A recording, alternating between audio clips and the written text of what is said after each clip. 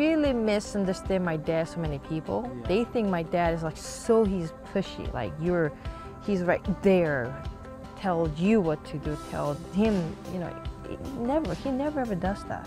Without my dad, I don't think Se Ri Pak's not gonna be here.